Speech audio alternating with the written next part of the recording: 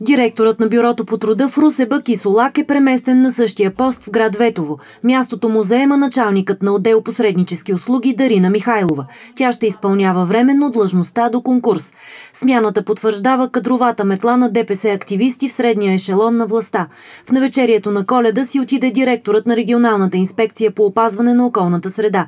В стола му, докато се обяви конкурс за длъжността, седна шефката на дирекция контролна дейност в екоинспекцията Снежана Георгиева. На поста му като директор на териториалната структура на изпълнителна агенция Рибарство и аквакултури беше върнат и Михаил Михайлов. Преди година и половина той беше сменен от Айдуан Джилил. В областна дирекция земеделие пък Борислава Братоева пое работата на Левент Исмаилов. Не приемам това, което заяви министъра на околна среда и водите. И ако има някаква друга причина, то според мен тя трябва да излезе и да каже каква е истинската причина за освобождаването.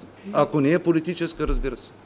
Най-изненадващо беше понижението на Пламен Минков. Броени дни преди да го махнат, той отчете, че Митница Руса е преизпълнила и внесла 436 милиона лева приходи в републиканския бюджет през 2014. Свързаната с това финансова, економическа и политическа криза изправя и нас пред сериозни предизвикателства.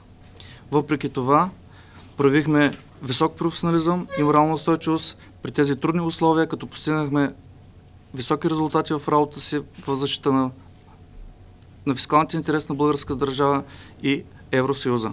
Работата му до конкурс поема неговият заместник Венцислав Халаджов. Пламен Минков остава началник на отдел финансово-стопанска дейност и управление на собствеността във ведомството.